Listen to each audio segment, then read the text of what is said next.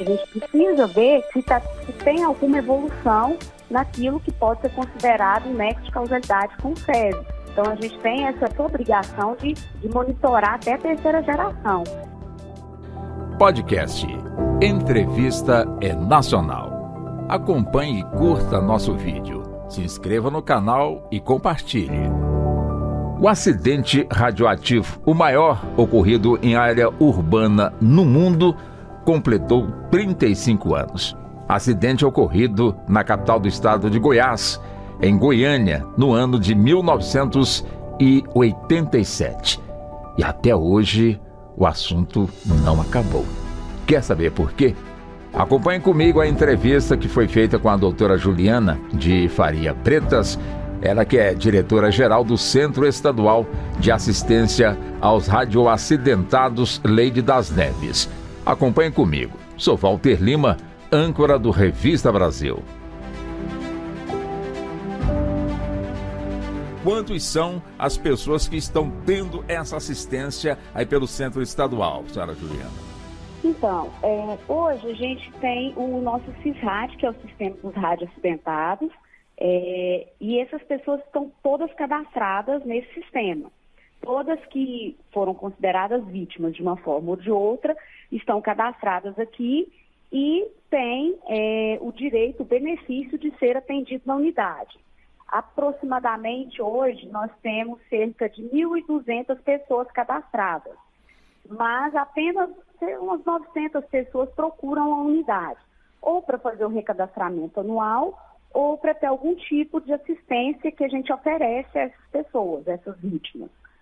Normalmente, quando elas se apresentam em busca de assistência, essa assistência é mais é, relacionada com um atendimento médico ou não?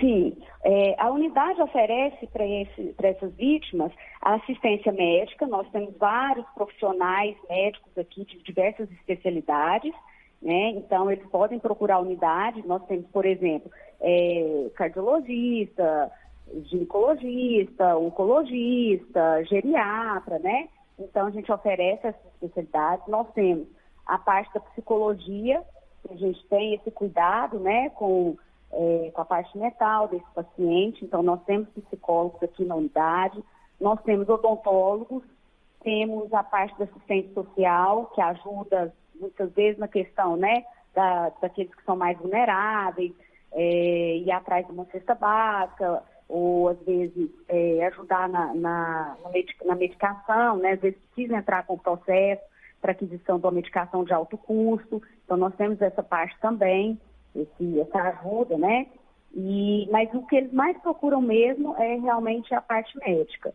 são os nossos médicos.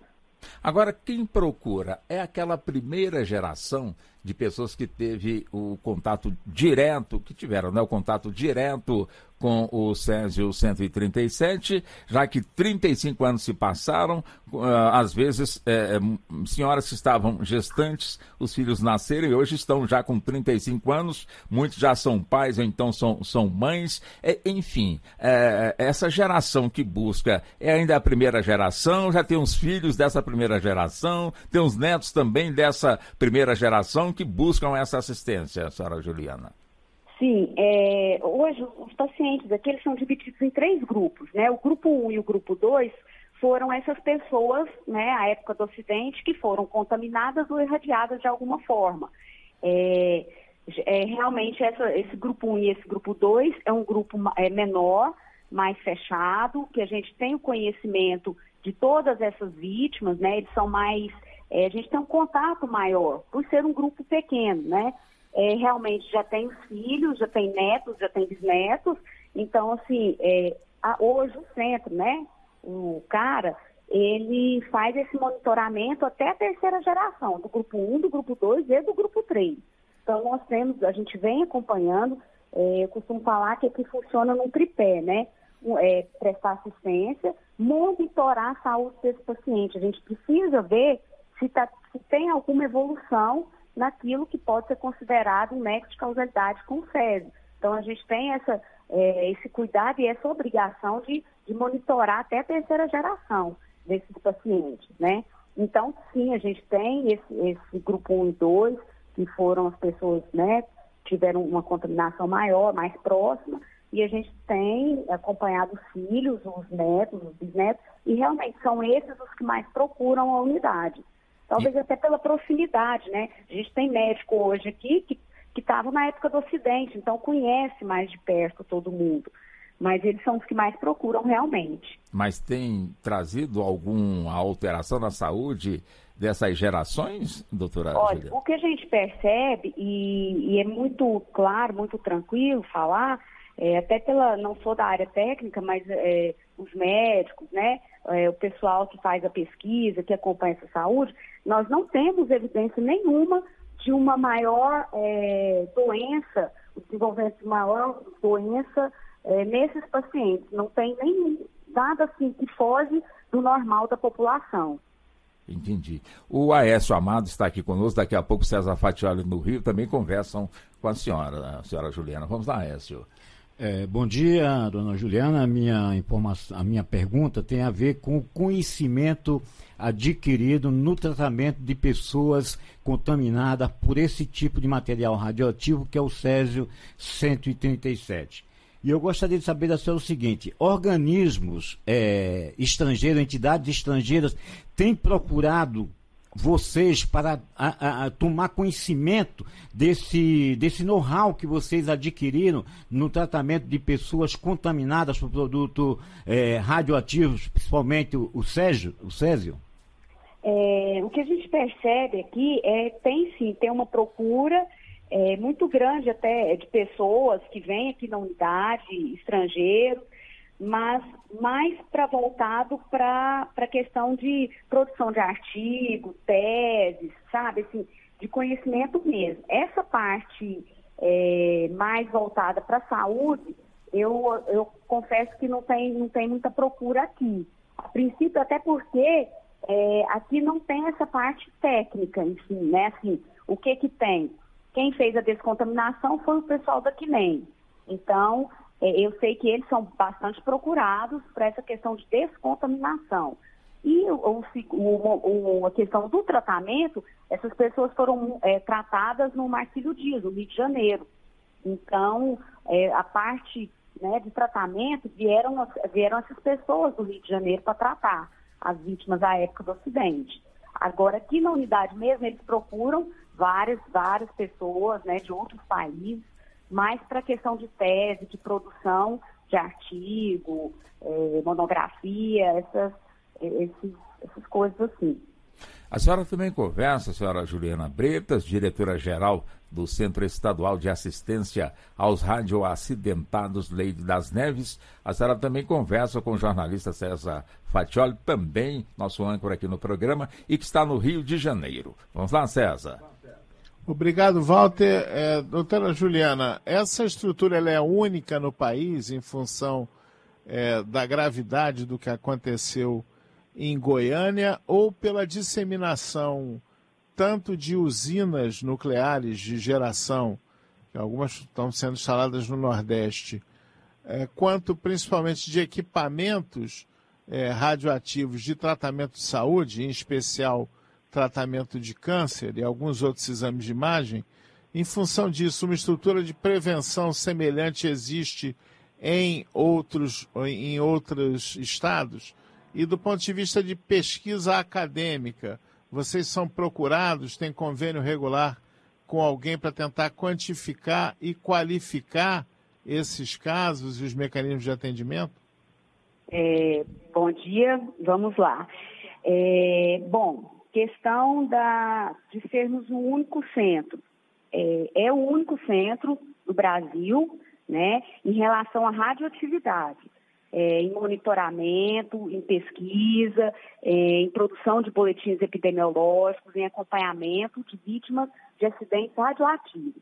É preciso fazer uma distinção entre a questão da, das usinas nucleares que o senhor colocou, pelo seguinte: é, acidente nuclear é o que aconteceu em Chernobyl, né, em Nagasaki, Hiroshima. Aqui foi um acidente radiológico, de radioatividade, que são os equipamentos usados para o tratamento do câncer, como bem o senhor colocou. Hoje, no país, não se usa mais é, fontes radioativas SESI para o tratamento de tumores de câncer. Né? Hoje se faz a, radio, é, a radioterapia, se trata ainda com radioterapia, mas não se usa mais é, o material radioativo SESI-137. Essas máquinas não existem mais. É, quem pode dar um, um suporte maior de é, se não tem mais, como eu já falei, né? A CNEM, que é o órgão responsável pela fiscalização do material radioativo no Brasil, é, colocou bem que não, não existem mais tratamentos com, com fontes radioativas de césio-137. Então, assim, hoje a gente fornece essa pesquisa acadêmica, nós temos o nosso NICAS, que a gente chama, que é o Núcleo de Pesquisa e Investigação da Saúde, onde a gente produz anualmente o boletim epidemiológico com, né, atualizando é, as doenças que mais afetam essa população radioacidentada, é, se tem algum nexo com o acidente ou não, se é apenas é, doenças que vêm, né, que coincidem com o envelhecimento da população normal de qualquer pessoa que está envelhecendo. Então, assim, mas é, a questão de ter uma única unidade, nós somos a, a única unidade no país é, a falar de radiação, a ter esse know-how, a poder explicar. Nós temos um médico nuclear aqui que sempre atende, por exemplo, os alunos que, que querem vir aqui, alunos de medicina, de biomedicina, é, pessoal que quer fazer tese, que aparece aqui na unidade.